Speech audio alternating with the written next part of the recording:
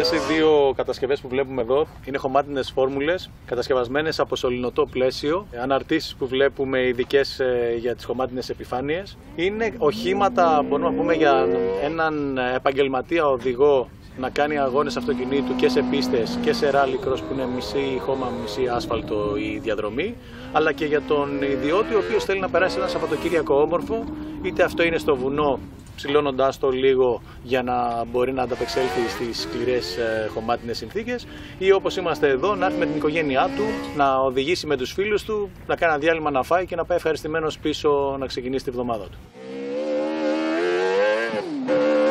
Θεωρώ ότι είναι ένα ευκολοδίγητο όχημα, το οποίο και με μηδέν εμπειρία σε αγωνιστικό αυτοκίνητο, εάν το σεβαστείς και ξεκινήσεις σιγά σιγά προσπαθώντας να αποφύγεις το λάθος και να κινηθείς έξυπνα, να το συνηθίσεις, είναι πάρα πολύ εύκολο στη χρήση του. Είδαμε εδώ ότι οδηγήσαμε σήμερα 10-15 άτομα, χωρίς κάποιος να έχει κανένα πρόβλημα να το καταφέρει να το οδηγήσει. Άλλοι πιο αργά, άλλοι πιο γρήγορα, άλλοι το ευχαριστηθήκανε.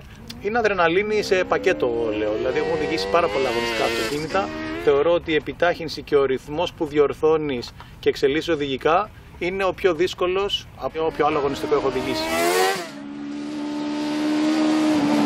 Κόστος χρήσης γύρω στις 15.000 ευρώ σαν ε, βασική τιμή. Και από εκεί πέρα με τα έξτρα μπορεί να φτάσει ανάλογα με τις απαιτήσεις του πελάτη, με άλλα ηλεκτρονικά βοηθήματα, με άλλα καθίσματα, με άλλες αναρτήσεις. Θα ξεπεράσει και τις 25.000. Αυτές είναι και οι τιμές που κυμαίνονται σε όλη την Ευρώπη. Αλλά το ευχάριστο είναι ότι στην χρήση του το κόστος είναι πάρα πολύ μικρό συγκρινόμενο με ένα αγωνιστικό όχημα σαν να λέμε ένα Mitsubishi Group Ni, ένα Subaru, ένα οποιοδήποτε άλλο αγωνιστικό. Δεν έχει σημεία που χαλάνε και αυτά που χαλάνε είναι αρκετά φτηνά στο να επιδιορθωθούν.